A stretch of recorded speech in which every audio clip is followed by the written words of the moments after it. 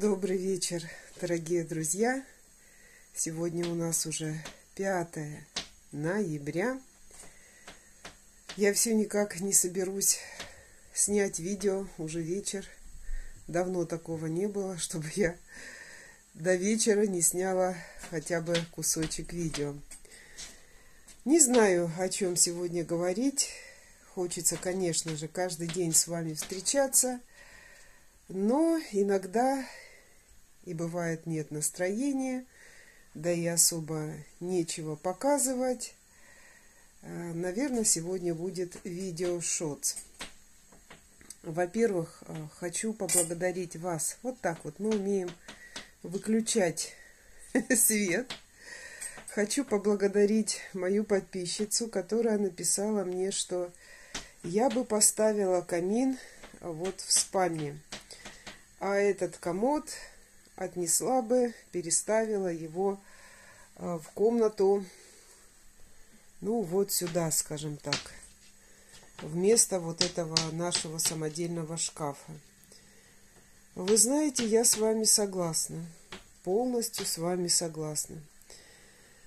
Мне э, очень хотелось бы вот засыпать и смотреть на ночник или на камин – а, который будет э, стоять вот в спальне. Шпулька, ты мне мешаешь своим шумом. Ты мне не даешь говорить, Шпуля. Ага, теперь, теперь сюда идем. Там выключили, теперь сюда идем выключать, да, Шпуля? Смотрите, все собрались. И Пуся здесь, и Маруська спит, и Кузьма вон на подоконнике с Монькой. Все коты прям собрались в одном месте. Вот ей интересен вот этот мячик-шарик, да? Интересный мячик-шарик. Про этот мячик-шарик расскажу историю. А, такие а, выключатели находятся вот и в лампе. Вот здесь вот. Это же серия IKEA. И вы видите, что я здесь, этот мячик-шарик, в общем, я его зафиксировала на основании, на вот этой ножке лампы. Знаете почему? Потому что Пуся, если я долго сплю, но это еще пошло с Москвы, когда у меня не было огорода, не было частного дома, я могла и летом, и зимой валяться э, сколько хочу. И она вот это вот делала бомбом. То есть она вот так вот, и он бом-бом-бом-бом, вот об, об эту вот металлическую, металлический стержень. И я вынуждена была привязать вот этот шарик, чтобы она меня утром не будила и не делала мне бомбом. В общем, эти мячики нравятся походу всем. Вот он вот так вот висел и на лампе, и она меня таким образом будила. Ладно, я немного отвлеклась от темы. Вот. А, давайте сейчас еще одну тему подниму. Раз и навсегда. Просто еще раз доношу до моих зрителей, я не знаю, подписчики это мои или не подписчики. Но много людей смотрит меня, так скажем, с незалежной. Вот мы опять включили свет. И от вас поступают комментарии в сторону России, почему-то на моем канале, э, который не вязальный. И я еще раз до вас хочу донести. Дорогие друзья, все комментарии на моем канале проходят модерацию. Никто не видит эти комментарии, э, пока я не поставлю галочку для общего обозрения. Комментарии, которые на политические темы, на э, проклинание меня, России, моих друзей, жителей России и так далее, естественно, летят в бан и, соответственно, с их владельцами. Но на один комментарий я все-таки сейчас отвечу. Мне написала женщина на украинском. Ну, наверное, знает, что я знаю украинский. Як то кажуть, українською мовою. Вот написала, что ну, я, видимо, шла по парку, показывала красоту осени золотой и все вот это. И она мне написала, что а нашу красоту уничтожают, и за что нам такое, у вас душа не болит, Я вам отвечу, у меня душа болит. Я отвечу честно, у меня душа болит. И у меня душа болит уже 8 лет. Вы почему-то мне не, не спрашивали меня, болит ли у меня душа, когда в четырнадцатом году бомбили мою родину, Донбасс. Вы меня не спрашивали об этом, а сейчас вы спрашиваете. Так вот, у меня душа уже болит давно. И больше нелепости я смотрела как-то, была даже подписана на эти каналы, на людей, которые э, с Украины. Все они стали балакати українською, переведу, что стали говорить на украинском. Я не буду пиарить эти каналы, и я думаю, что они меня смотрят, и они сейчас себя узнают. И э, большей нелепости я вообще не слышала. Оказывается, что это Россия 8 лет бомбила Донбасс. Я не знаю, с какого дуба вы упали, и э, что вы там смотрите, что вам вбивают в ваши головы – но я вам э, с, со стопроцентной уверенностью могу сказать, что у меня живет Анин папа, это мой первый муж на Украине, на Украине, подчеркну.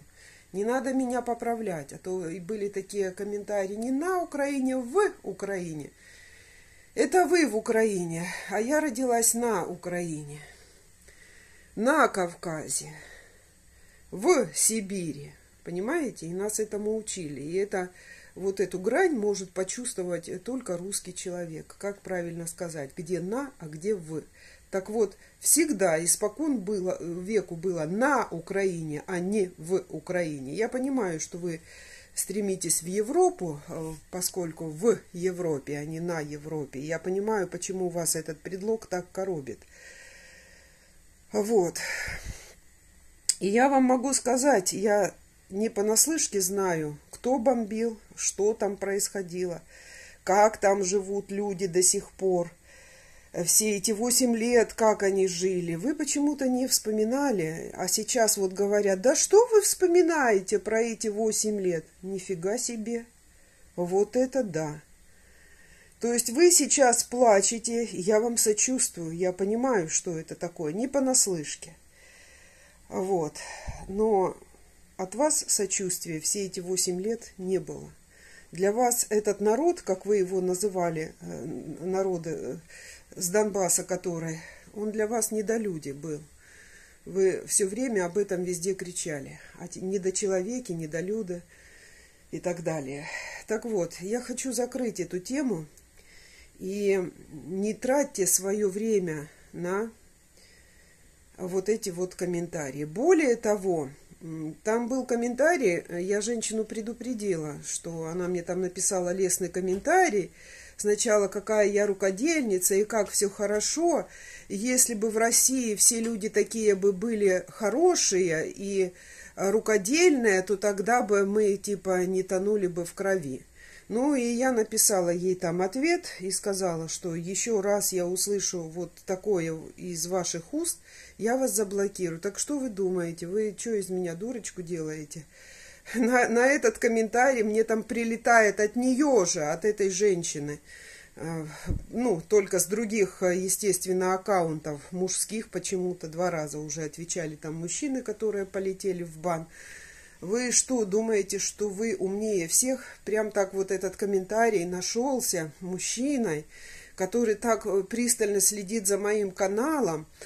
Уже этому видео, я не знаю, месяц, может быть, и все идут ответы на этот комментарий. Вы что думаете, я такая совсем уже недалекая? Не думайте, что вы умнее всех. Вот. Поэтому куда эта кривая выведет, покажет время. Но я хочу сказать, что мне жалко всех людей. Понимаете? Всех людей мне жаль. Но поливать грязью мою родину я не позволю. Вот. У меня папа с России из Курска. Я считаю, что я славянка, я русская. И обливать грязью я не позволю. Но это вот я ответила на то, что у меня наболело. И еще раз хочу сказать, пожалуйста, все комментарии идут, проходят модерацию, и все комментарии проверяются. И даже под этим видео я знаю, что будет много-много вот таких комментариев. Я научилась вообще их даже не дочитывать. Я сразу вижу и сразу одним щелчком отправляю по назначению. Ну, а теперь по поводу камина. Так вот, вот этот... Ой, у меня там картошечка кипит, сейчас прервусь. Поставила картошечку варить мелкую. Так удобно в мундирах теперь. ну, солений своих полно. Надо же с чем-то их кушать. А мясо не хочу, колбасу не хочу. Вот буду кушать, значит, э, с картошечкой. Вот сейчас вам расскажу о перетрубации. Вот этот шкаф будет стоять вот здесь. Не смотрите, у меня бардак. Занимаюсь шитьем. Здесь даже ножницы по металлу лежат. Это я сегодня отрезала по размеру вот эти вот эм, заборчик этот, который можно, наверное, и не отрезать. Скорее всего, сделаю вот так вот, ну, вот так вот его, без без укорачивания.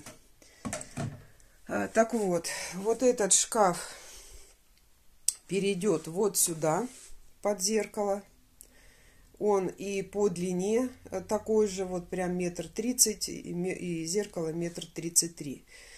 И сразу здесь будет э, как бы комплект, потому что здесь вот эти кухонные шкафы.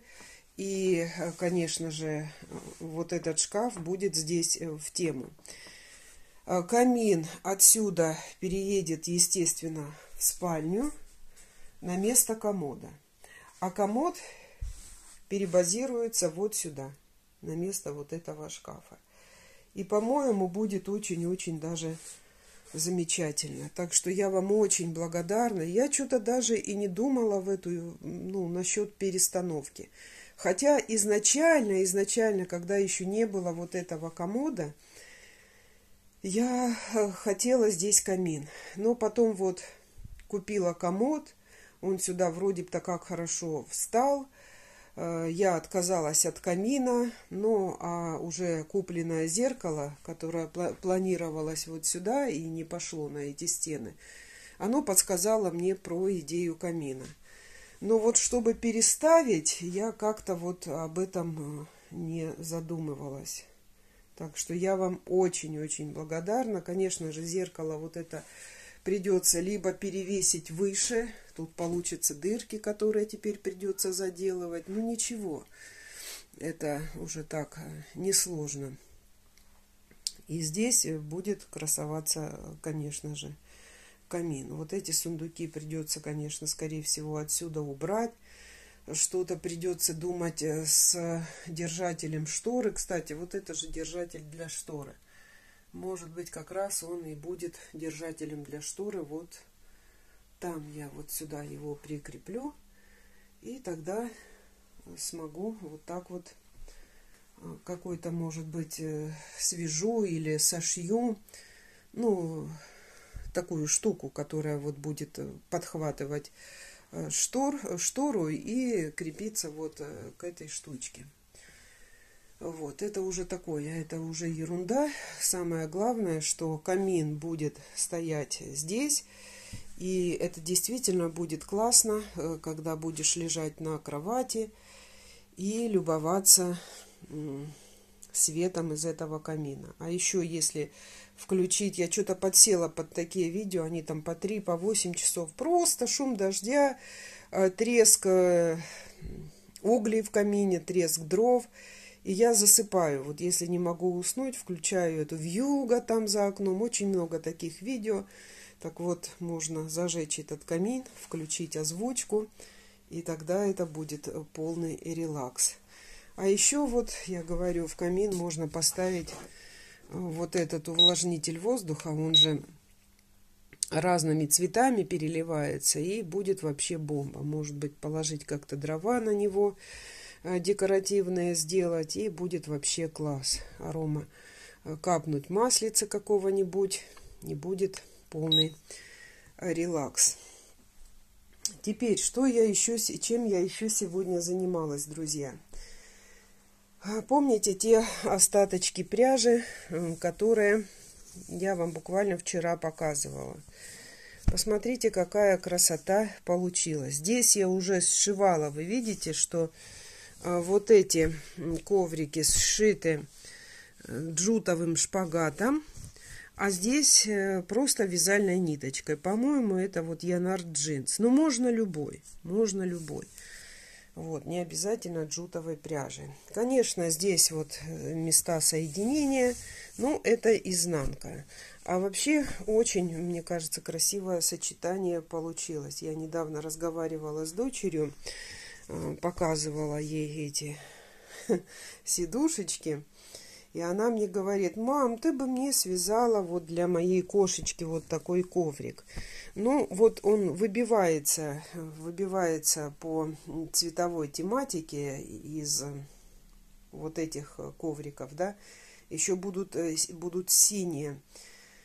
А вот, может быть, ей, э, ну, синюю пряжу в синих тонах я заказала в ТДКор. Не знаю, правда, когда придет эта посылка, но когда-то придет. Посмотрите на эти две красавицы. Ну, одинаковые, да? Одинаковые мои девочки. Да, Спулечка? Возле мамочки рядом. Всегда возле мамочки. Мамочка спит. Позвонила, кстати, я в это в ветклинику. Теперь у Нади болеет ребенок. Вот понедельник сказала, звоните и буду записывать а, Маруську на стерилизацию. Говорят, Надя уходит в декретный отпуск. И я так подумала, надо быстрее стерилизовать, а то потом роды, ребеночек, э, когда там она будет выходить. А в Доброе, по-моему, 50 километров отсюда, совсем не хочется ехать, э, тем более после операции кошечки. Благо тут вон 10 минут на такси, да меньше, какие 10? 3 минуты, и я дома. Так что в понедельник э, буду звонить и записываться на стерилизацию. Вот. Так что вот из остатков пряжи, друзья, я здесь сама комбинировала. Видите, здесь я вам показывала, как вяжется этот гибкий шнур. Вот, и я меняла пряжу, соответственно, то одну нить делала верхней или нижней, то другую нить. И сама вот таким образом по ходу сшивая понимала, какой нитью мне вязать, ну, чтобы это как-то не сбивалось все розовый, розовый, белый, белый, а чтобы было розовый, белый, там вот как-то серый, темно-серый, чтобы это было красиво. Вот я вам говорила, что сшивайте, не сразу навязывайте. Если однотонная, э, то да, можно навязывать. Но когда вы вот так вот Э, компонуете цвета, э, то лучше сразу сшивать, и вы видите, какой цвет вам нужен, ну, над каким будет идти следующий цвет, и вязать уже по ходу пьесы. У меня был, была вот такая еще тесьма. Что это у меня палец грязный? Это я картошку мыла и не домыла, видимо, руку. А, вот, покупала я как-то шторы, вы помните, кто со мной давно на канале. Здесь были на окнах рулонные шторы. Потом я поменяла их на вот эти шторы и осталась тесьма. Одну штору, кстати, я сделала в терраске. Вот, я вам покажу. Вот эта штора висела у нас в спальне. Когда еще интерьер только-только вырисовывался – Здесь все своими руками из старого карниза. Вы помните, как я ее шила. Вот. Ну, а сейчас вот она перебазировалась сюда, в терраску. Да, зимой я, конечно, ею пользоваться не буду. А летом очень-очень солнечно и терраска греется. Летом она, конечно же, а, будет работать. Ну, а чтобы она не валялась в шкафу, я здесь даже по размеру ничего не отрезала. Вот как она есть на шурупы посадила. И вот теперь в терраске а вот такая штора. Сегодня еще э, вяжу, распустила лежак для кошек. Видите, здесь черной ниточкой сшиваю. Тоже вот такой обычной вязальной черной ниточкой. Остался клубочек в два сложения. И тоже получается, вот изнанка тоже неплохо смотрится. Это я распустила старый лежак. Вот. Он здесь немного выцвел, немного э, плесенью покрылся. Вот эти темные места. Это, представляете, я положила его под ванну. Не знаю, как туда набежала вода. В общем, я не увидела. А, это, наверное, когда там не было полочки, и вода ну, могла попасть. Точно. Вот теперь я поняла. А сегодня пошла, вытащила. Там кошки любили спать. Вытащила, думаю, о нет. Постирала, естественно, это все не отстиралось. Может быть, я его покрашу потом просто акриловой краской для ткани в какой-то другой цвет. Может быть. Но хочется навести порядок, чтобы э, вот и эта пряжа вся у меня и зашла, пока нету посылки, которая придет с новой пряжи. В общем, решила навести порядочек и все довести до ума. Но мне кажется, очень красиво смотрится вот здесь вот эта тесьма с бубенчиками. Может быть, я подарю дочери вот этот ковричек. Она, кстати, покупала сейчас модные, знаете, такие ручного, э, ну, тканые такие покрывала, что ли, как раньше вот коврики были. А, она покупала в светофоре, причем он у нее вот именно вот в такой гамме. Так что ей вот будет как раз комплектик. Ну, а мы продолжаем сосать мамочку, да? Ну, недолго осталось, недолго. Она уже ее замучила, эта шпулька. Все, мои хорошие, наговорила три короба. Не знаю, было ли вам интересно. Я вас всех обнимаю, всех люблю. И до скорых встреч. С вами была Елена Ситникова. Пока-пока.